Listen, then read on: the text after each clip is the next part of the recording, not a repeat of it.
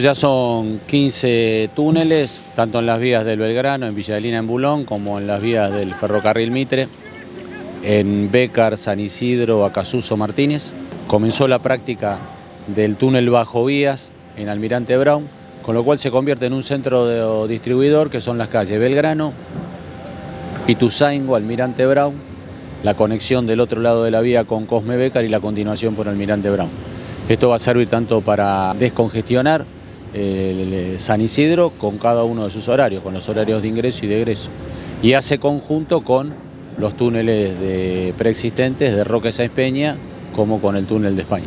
Aparte todos inteligentes, aquellos lugares que eran avenidas, rutas, los hicimos con la suficiente altura para que pase el colectivo, el tránsito pesado, y los lugares donde queremos preservar la calidad de vida, el código de ordenamiento urbano, que sean de poco impacto, son túneles para que pasen ambulancias, para que pasen vans escolares,